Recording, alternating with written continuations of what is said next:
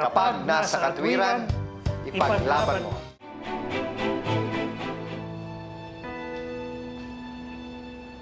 At ikaw, anong ginagawa mo nung panahon na yun?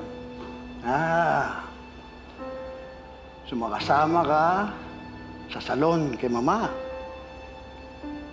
Dinadala ka ni Papa sa ice cream parlor. Nakikipaglantian sa kasintahan. Ang sarap ng buhay mo, bunso, ano? Tapos ano? Sinayang mo lahat ng mga pabor na binigay sa'yo. Namatay sa sama ng loob si Mama at sa mga kalokohan mo. Pero, kahit sa hukay, ikaw pa rin ang paborito nila. Gustong iwan sa'yo lahat ng mana. Kuya, pinagsisihan ko na ang lahat ng yun. Huwag na natin balikan. Hindi! Hindi! Kailangan balik-balikan natin. Kasi ugali mo, minamana ng mga anak mo. Yan si Miguel, ipupusta ko ang buhay ko. Walang mararating yan. Wala kang karapatang sabihin yan, kuya. May karapatan ako! Ako! Ako ang nagpapalamon sa inyo! Ang pagkain na sinusubo namin galing sa pinagtatrabahuhan namin sa'yo. Durugin mo man ang pagkatao ko. Huwag lang ang anak ko. Ha? Marunong ka sumugot ngayon, ha? Ha? Sumasobra ka na sa kuya. May hangganan din ang pasensya ko. Pero pag sinaktan mo ang anak ko, lalaban ako.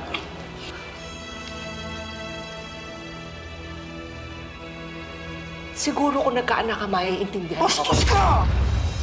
Wala kang galang sumagot. Huwag mong kalimutan. Utang mo sa akin ang buhay mo!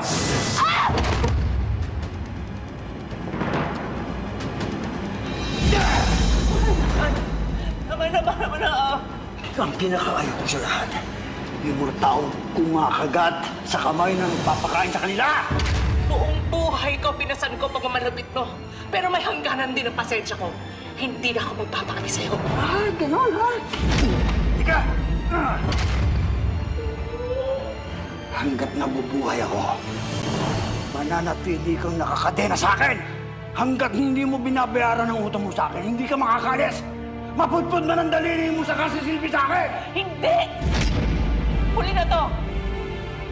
Aalis ako at hindi mo na ako mapipigilan pa! Hindi ka aalis!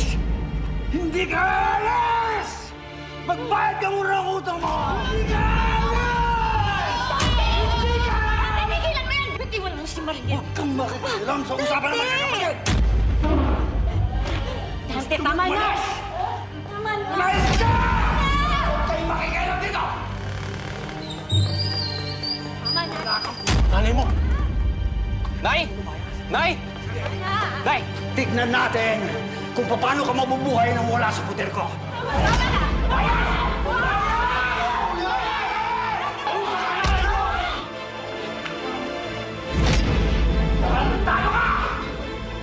Pare-pareho kayo!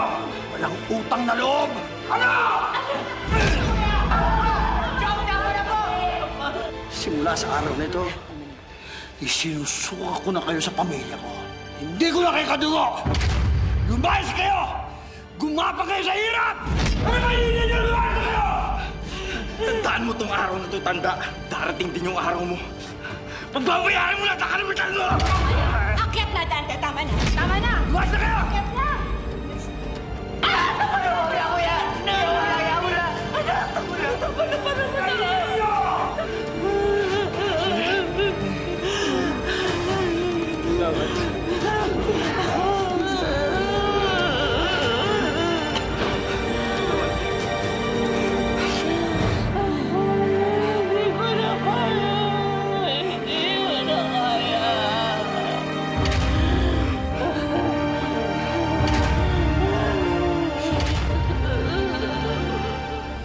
Buhay asong kalye.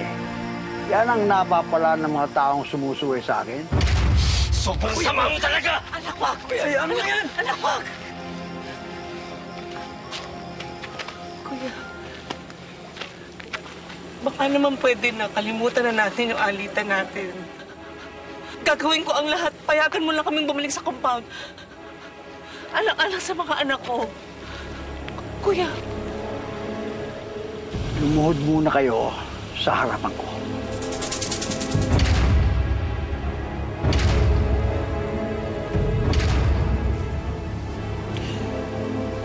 Nay, wag. Nay, wag. Huwag kayo luluhod. Yung mga ganyang klaseng tao hindi niluluhuran. Ikaw wag mong hintayin magdilim yung paningin ko, ah. Anong gagawin mo? Ha? Mananakit ka? Sige! Sige, gawin mo! Nang mademanda kita at mabulok ka sa bilangguan hanggat hindi niyo pinagsisisihan ang ginawa niyong pagsuway sa akin, hinding hindi kayo makakabalik sa compound ko. Sakali kayo manirahan, mamalimos kayo! Kuya, wag! Kuya, wag! Ay, kuya! Ay, ay! Pasuyin pa! Bigyan niya siya, kuya! Kuya! Bumalik ka dito! Siya nga pala, total mamamalimos naman kayo. Eto, malimos ko sa iyo. Dito, tama na po! Napakasama mo talaga! Paslupa! Mix! Tama na, tama na, tama na. Sama mo! Bumalik ka dito, Dante! Kuya, ayan mo na siya, kuya! Kuya! Dante! Kuya, huwag yan! Ayaw mo siya umalis! Kuya, si nanay, kuya! Nay? Kuya, kuya! Nay? Ano gagawin natin? Nay! Nay! Nay! Nay! Nay! Nay, kuya! Nay! Nay! Nay! May nakita kaming infection sa baga ng nanay niyo. Kailangan niya manatili dito para magpagaling. Dok, ano ba sanhi ng sakit ng nanay ko? Hindi malayo na dahil ito sa kanyang sobrang pagtatrabaho. Hindi siya nakatulog na maayos. Lagi natutuyuan ang pawis sa kanyang likod. Importante na mapagpahinga siya dahil posibleng lumala ito. Mauna na ako. Salamat po.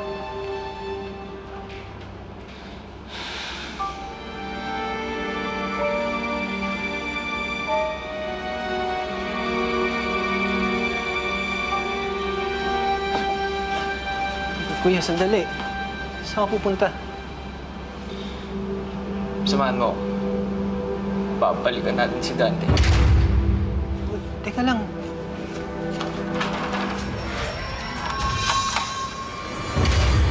Nix, napadalaw ka? Si Chong Dante, dyan ba?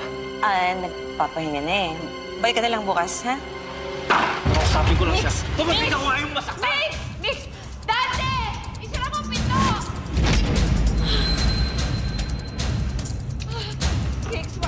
Wag! Wag, Mix! Mix! Papasukin mo! Wag! Handa! Wag! Handa! Wag, Mix! Parang awa na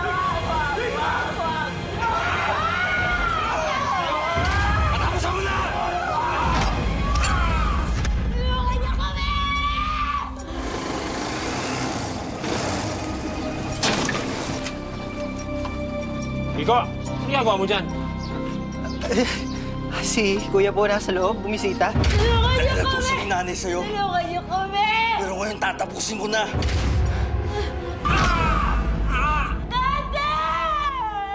Hey, Kuya! Kuya, wag mo! Wag, wag!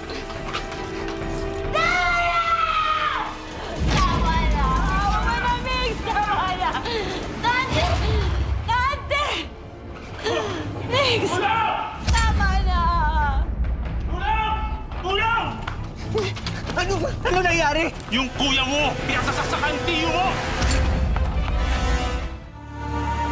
Bakit ganyan itsura mo? Ba't ang daming dugo? Nay, patay na si Dante, Nay. Nay, wala na mananagit sa inyo, Nay. Malaya na tayo. Malaya na tayo. Bakit mo ginawa yun? Anak!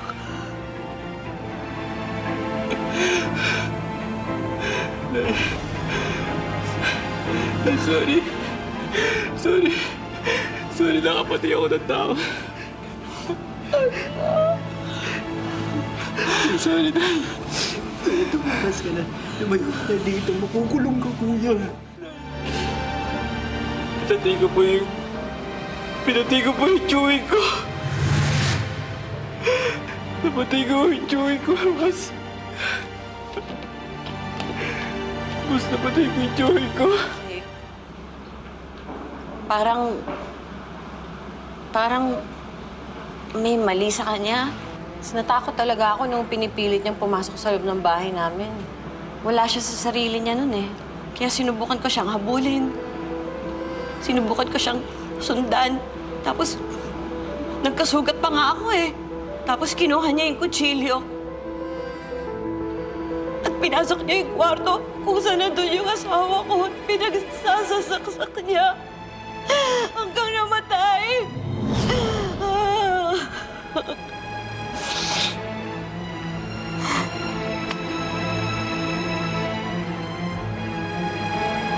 Oo. Oo, oo, alam ko, alam ko, malupit ang asawa ko. Alam ko, mabigat ng kamay niya. Alam ko, nananakit siya. Alam ko. Pero kahit gaano kasama ang isang tao, wala tayong karapatan. Nakitlin ang buhay niya. Diyos lang, Diyos lang ang pwede. Pwede mag, magparusa sa mga masasama. Una kong nakita sa garahe, si Kiko. Nagtataka nga ako eh. Bakit siya nandun? Biglang narinig namin sumigaw si Ate Nati. Agad kami sumugod sa kanya. Nakita namin si Boss Dante, tuguan, puno ng saksak. Sinaksak siya ni Mix hanggang mamatay. Kilalang kilala ko pamilya nila. Lalo na nanay ni Mix. At alam ko, matagal silang titi sa kalupitan ni Boss Dante. Hanggang sa mapalaya sila sa compound.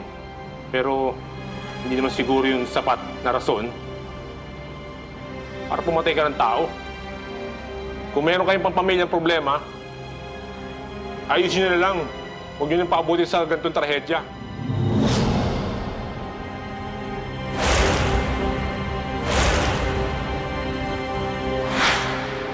Po ng hukuman ang nangyari. Voluntaryo po akong sumuko. Dahil alam ko po mali yung ginawa ko. Totoo. Ako nakapatay kay Chong Tante. Nagawa ko yun. Di lang ho dahil sa bugso ng damdamin eh. Nagawa ko po yun dahil napuno po ako. Napuno po ako dahil pinapahirapan po yung nanay ko. May mga pagkakamali si nanay noon. Pero para parusahan siya hanggang ngayon, sobra-sobra na ho yun. Natiis siya ni nanay. Pero hindi ko po matiis na minamaltrato po yung nanay ko. Dahil mahal na mahal ko po siya. Patawarin niyo ako. This court finds the accused, Miguel Makatangay, guilty beyond reasonable doubt of the crime of murder. So ordered.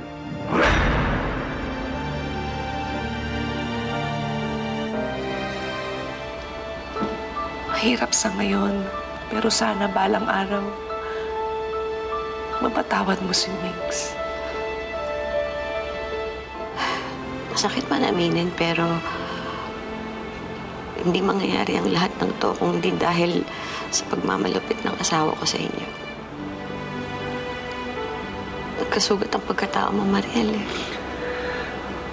At, at ang pinakamalala sa lahat, lumaki ang mga anak mong na, na nakikita nilang nagdurusa ka. Naiintindihan kita, Mariel. At humihingi rin ako ng tawad sa'yo. Para sa ilang taong tiniis mo si Dante. At wala man lang ako nagawa para tulungan ka. Malaking tulong ka sa akin, ate nati. Sa kabila ng pagmamalupit sa akin ni Kuya Dante. Pinayaan ako ng Diyos na isang mabuting kaibigan na naiintindihan ng mga pinagdaraanan namin ng mga anak ko. Kaya oo, pinapatawad kita. Maraming salamat. Maraming salamat, Mariel. At tama ka. Walang mapapala ang pamilya natin kung patuloy ang pagkamuhi natin sa isa't isa. Mahirap para sa akin gawin ngayon, pero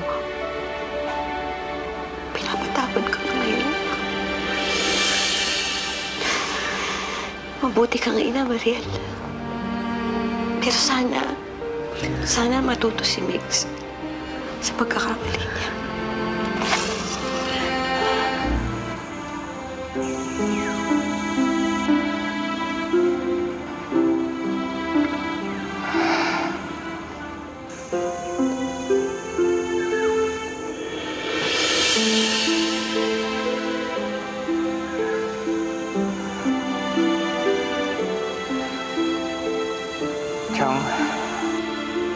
Patawarin niyo ako. Alam ko hindi ko na mababalik yung buhay ni Chong Tante sa pagkakakulong ko.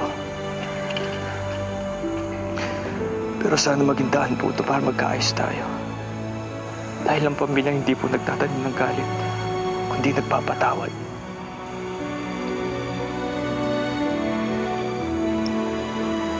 Gabayin ka ng Diyos, Mix. Naniniwala akong may pag-asa ka pang magbago. Sa tulong niya.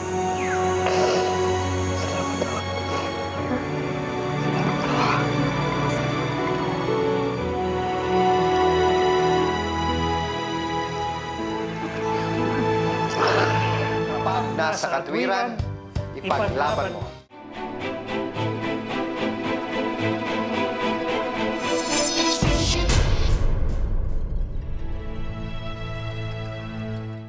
Kapag nasa katwiran, ipaglaban mo.